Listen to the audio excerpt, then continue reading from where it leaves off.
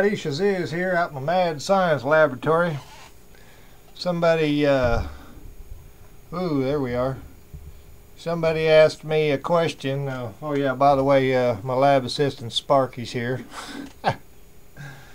Somebody asked me a question on how to uh, basically charge a battery uh, using a uh, Shazizz, using either the Shazizz coil or a Tesla coil. So I'm going to use the Shazizz coil, which uh, you've seen my video, the Shazizz coil, and uh, you've seen this before, acts as a transmitter, receiver, and an amplifier. Essentially, what the, what you do is you run your positive and your negative in parallel with your capacitor, which I've got going down to this junk battery right here. And uh, of course, I've got a towel here on my lap so I don't, in case I get any doggone uh, battery leakage or whatever, I don't want to get no chemicals on me. But uh, you can see what the voltage is right at the moment. It's 815. I haven't been able to get it to go much higher because this battery is a piece of crap. But uh, anyway, uh, let's see if I can set this situation up here for you a little bit better. We'll put this over here.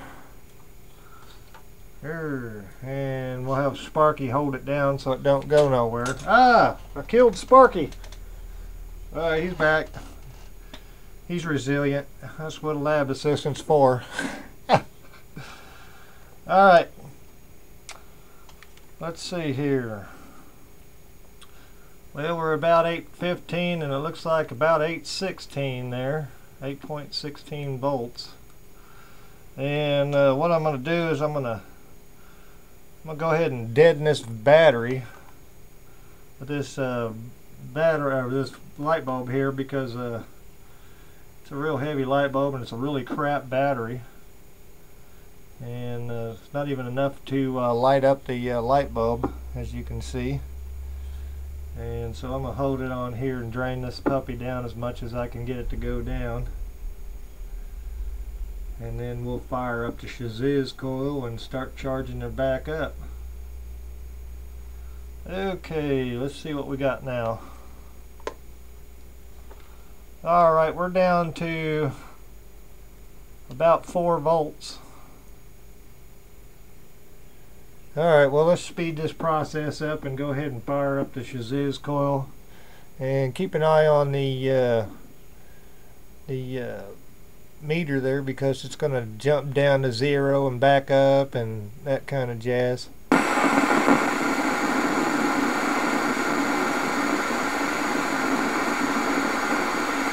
It'll fluctuate back and forth, down under, and sometimes it'll jump up.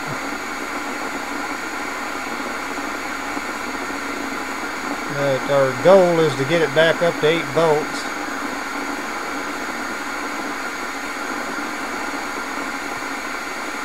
Let's see what we got so far.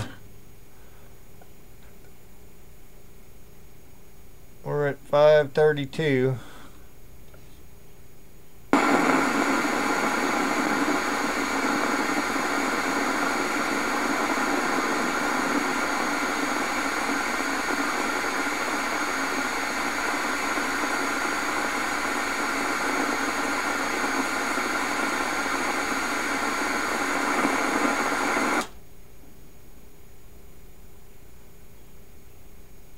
Uh, 539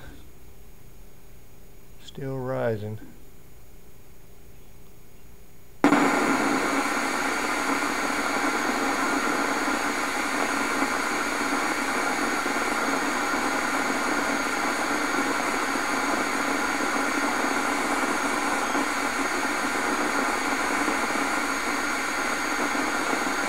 Leave it run here for a second see if my computer either freaks out or whatever.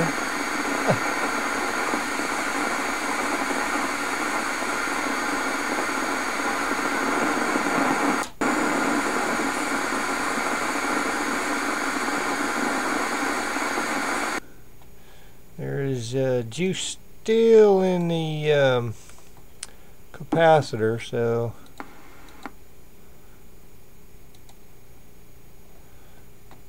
even after you shut it off it's still going to charge to some extent.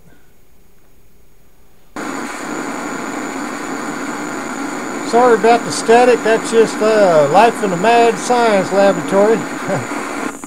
Notice the uh, numbers keep fluctuating up there sometimes getting higher.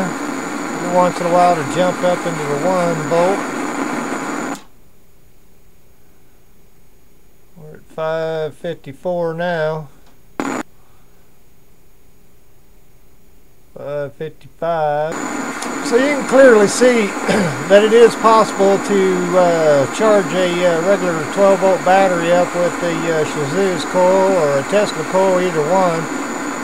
Uh, it's just taking me a little longer than I anticipated here to get it to go up. 556 looks like I'm only getting a couple volts every go around 557 anyway I've been tinkering around with this all day long. Fired up some more. That's going to probably put us at about 558 or 559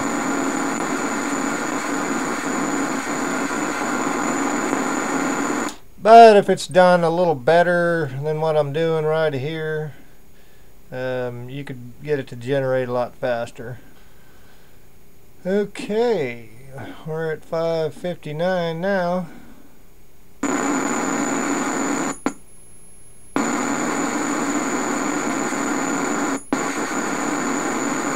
Yeah, probably one thing that would help if I uh, adjusted my spark gap just a little bit better. Kind of got it out of whack a little bit earlier So that's probably why the difference is. But uh, tinkering around with it and see if it goes up one more point. uh, it is possible to charge a uh, battery via your Tesla coil. Um, if you get it tuned just right uh, on your uh, spark gap, it'll charge that capacitor a little better. And uh, there you go. 560 I can't remember what we drained it down to it's still charging a little bit 561 okay one more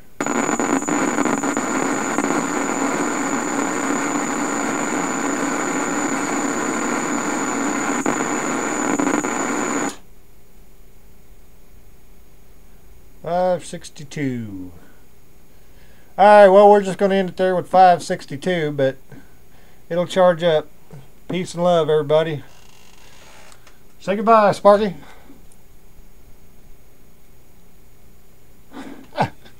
okay, we're back for a short addendum. Uh, the uh, capacitor still got some juice left in it, and if you see it keeps on rising up, straining off that capacitor and so I'll let this uh, run for a while and see if I can get it back up to 8 volts again you can see uh, where we're at now. We're at 669 and then I'll come back in and uh, see if we can get it up back up to the 8 volts where we had it before. Ah here we are back again. We're at 696 Seems like when it gets to a certain uh, level, it starts to speed up a hair. Let me fire this thing up again.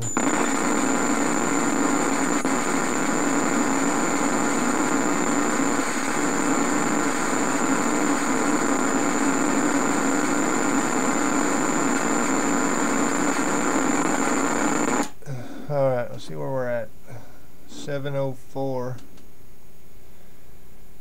You know, um, I'm probably going to have to chop this video down a little bit in a couple sections, take out the less relevant things, but uh, it's the only reason why I'm chopping the video so I can fit it within my uh, time span. But uh, you see, it's uh, going back up. We're almost back up to our 8 volts.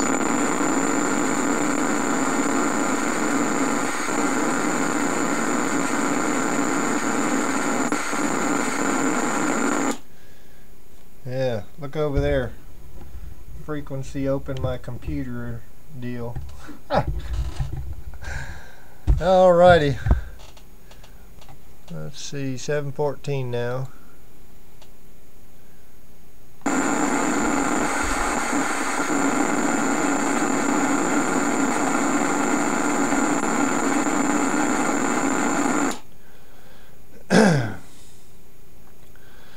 Alright, we're just going to leave it there at 735 and uh, it'll be climbing up and uh, basically you see we, we shorted the battery down and drained the voltage.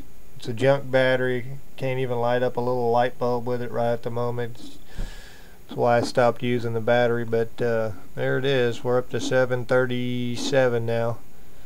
Can be done. It's all in the name of mad science. anyway, we're up to 754 now. Um, it's just going to take too long. I don't know if I'm going to be able to chop this down.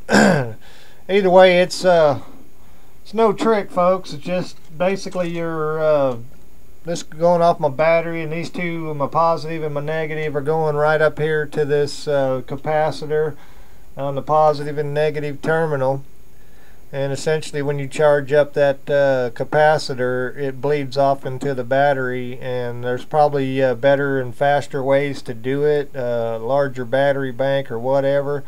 And uh, it's a real simple process but uh, I got asked the question and I uh, simply just threw a little project together real quick to show you that it is possible to charge a battery back pack with using the Tesla coil so you can turn it back into to usable energy. You can see it's still going back up. I'll fire it up one more time. We're at uh, 1.61 now, or 7.61 volts. run it here for a second.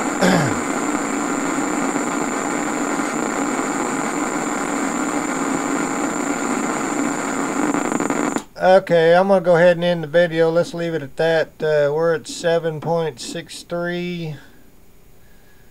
But uh, try the test out yourself. Just be real careful when you're messing around with uh, electricity and high voltage capacitor and such. Before you connect your terminals, make sure you dis uh, discharge the capacitor so you don't blow your finger off. Alright, peace and love everybody. Take care.